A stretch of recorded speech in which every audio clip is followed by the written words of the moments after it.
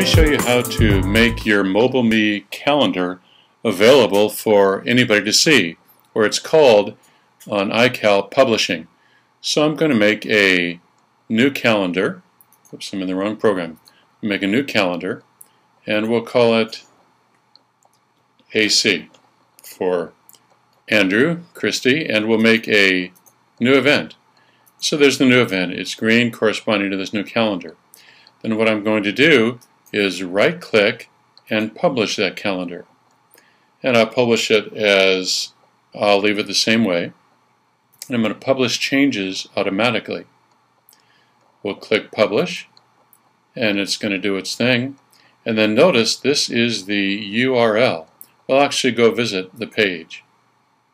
And that's what the published calendar looks like. Of course, there's hardly any events. We'll look at it by month and we'll just see that one event.